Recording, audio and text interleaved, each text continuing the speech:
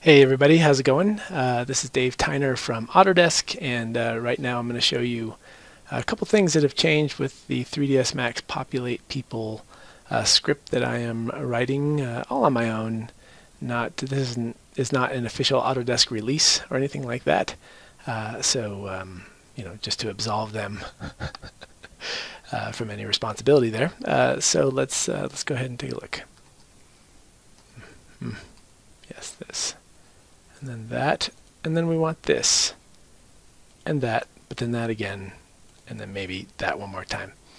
Okay, so I have um, I've transferred the script and the max file over to um, to GitHub here.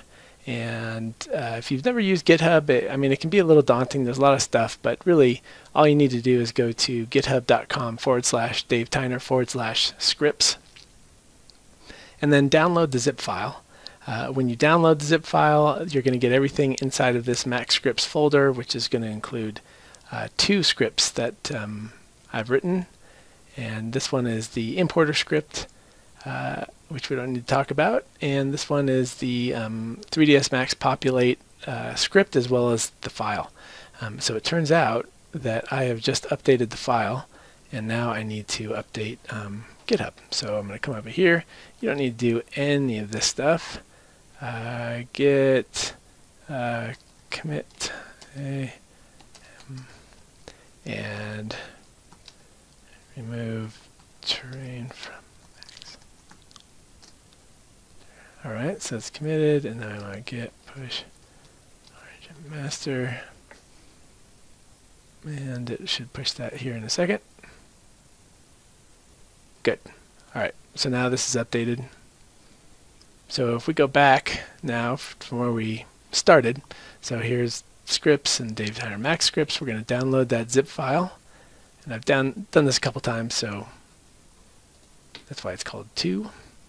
Um, so I've created a Max script folder here. I'm just going to drill down, grab Dave Tyner Max script, drag that over. Double click on that, populate to InfraWorks, and then I'm just going to drop that in open the file. Alright, and there's nothing, but that's cool, because that's what we want.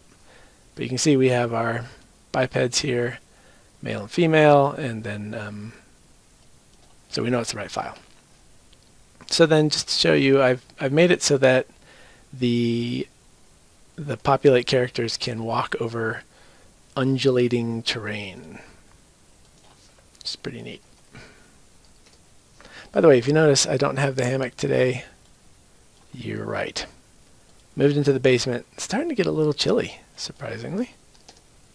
Chilly.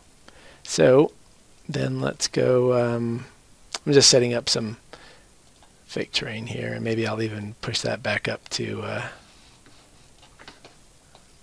back up to GitHub.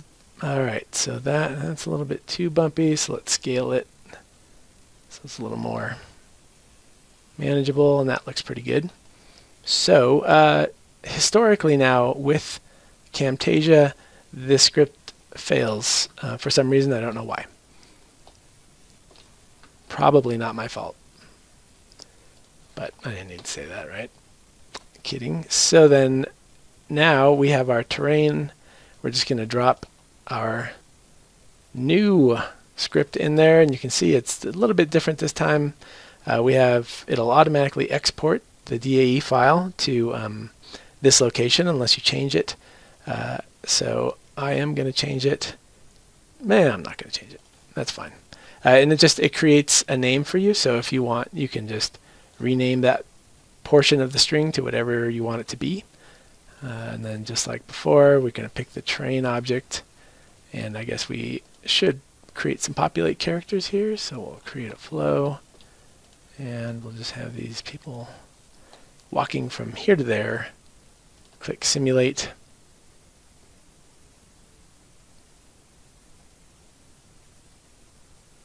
And now's a good time for a drink of water.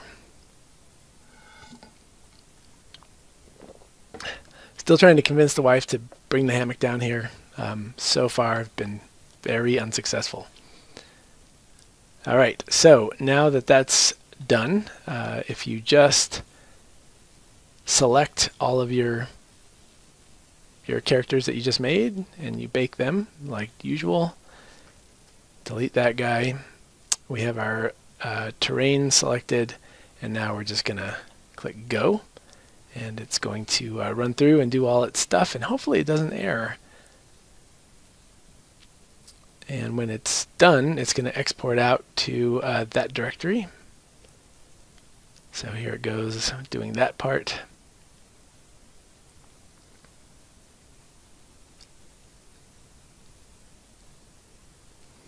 And it's silent, so um, you're going to want to set, yeah, that's a, that's a good point. You're going to want to set a couple settings uh, for the export um, uh, when you do export, if that makes sense. It doesn't, but I'll explain it. All right, so here's the people, and they are walking down the hills. Yes, that's wonderful.